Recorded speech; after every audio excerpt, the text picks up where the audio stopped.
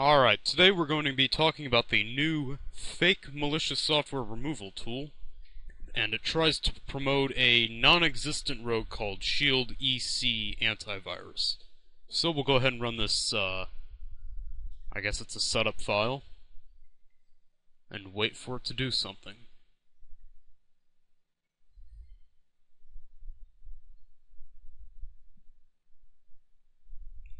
So it's running right here.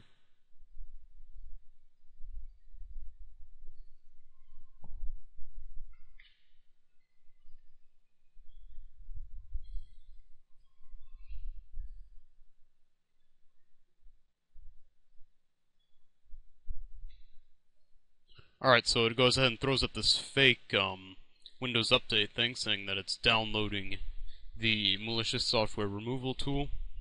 And these links, I believe, go to the real Microsoft website. Yes, they do. Okay, so we'll click Next, and it will go ahead and scan your system for infected files. It's already found two of them. And this takes, I think, a couple minutes, I don't know. Alright, so the fake scan took 1 minute 2 seconds. And it's going to go ahead and tell me that it's found some malicious software, and some of it is removed, but a lot of it says not removed. That's pretty bad. So it's saying that it can't remove all the, the uh, malicious software, and it's telling me to find some recommended antivirus software. So it's going to search for some. NOD32? Nope. Panda antivirus, can't cut it. Shield EC antivirus, able to remove Malicus. And it says it's found the necessary antivirus, and to click Finish to purchase recommended antivirus software. And unfortunately for us, the site is down. That figures. I wanted to have a look at it. But yeah, I don't think there is a real Shield EC antivirus rogue out there. I think it's you just buy it and then they send you nothing. So I don't think there's a program to test. And after you close it, it's fairly annoying. It might pop up every minute or so and tell you, uh, like, malicious software was detected.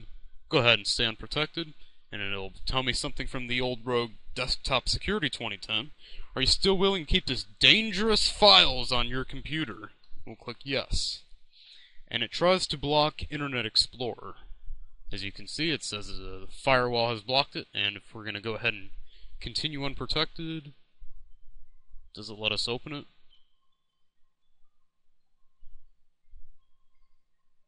I don't think it lets us open it.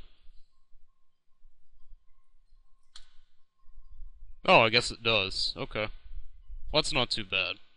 And if you were to be infected by this, that'd be kind of odd. But if you were, it's pretty simple to remove and it doesn't make too many changes. You're Gonna notice this msrt.exe.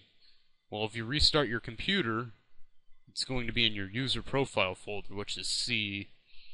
Documents and Settings, Administrator, and this mrtw.exe. You can just go ahead and delete that.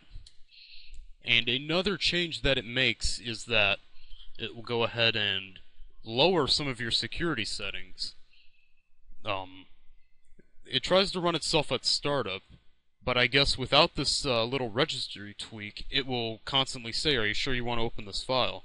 So it goes ahead and edits the registry and makes .exes a uh, low-risk file, meaning that if you open it, you aren't prompted to. So you can fix that Probably with Malwarebytes, we'll fix that hijacked um, registry key. And you get pop-ups like this sometimes, so you just go ahead and close it. And I do want to keep this dangerous file on my computer. And that is pretty much it for this little fake malicious software removal tool.